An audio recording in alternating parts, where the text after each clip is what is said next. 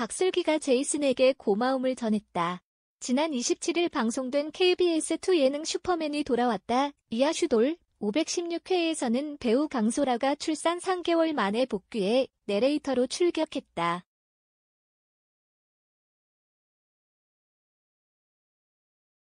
강소라는 둘째 딸 이름은 혜슬이다.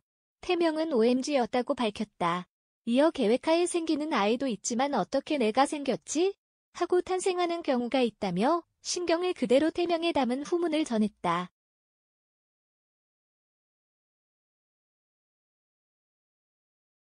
이날 국가대표 골키퍼 조현우가 딸 하린, 예린과 등장했다. 하린, 예린은 훈련 일정 탓에 두 달 만에 상봉하는 조현우를 반겼다.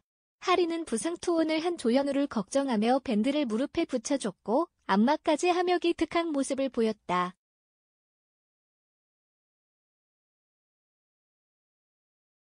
조현우와 하린, 예린 자매는 밖으로 나가 춤을 추고 싱싱카를 타며 에너지를 자랑했다.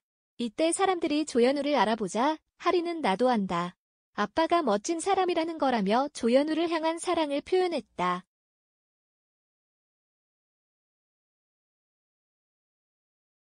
조현우는 혼자 두 달 동안 딸들을 육아하느라 고생한 아내를 위한 깜짝 파티를 준비했다.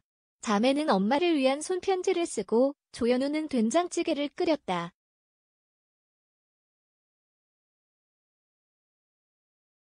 조현우는 내 머릿속에 축구가 전부인 것 같지만 우리 가족이 가득 차 있어 가족에 대해 특별함을 자랑했다. 제이슨과 준범, 박슬기와 소혜, 배윤정과 재율이 총캉스를 떠난 장면도 나왔다.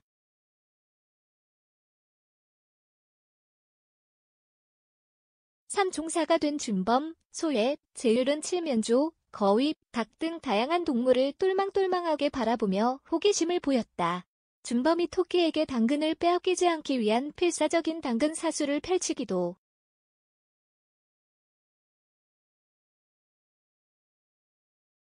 준범은 제이슨이 당근을 토끼에게 주려고 하자 두 손으로 말리는 장면이 나와 웃음을 안겼다.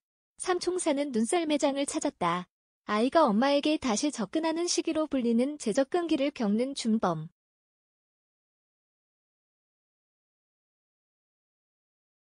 그는 낯선 풍경에 제이슨에게 찰싹부터 긴장한 표정을 지었다. 그것도 잠시 준범은 제이슨과 설매의 스리를 만끽했다. 소에 젤율은 티격태격하다가도 빠른 사과를 하며 귀여운 연상연하 케미스트리를 보였다.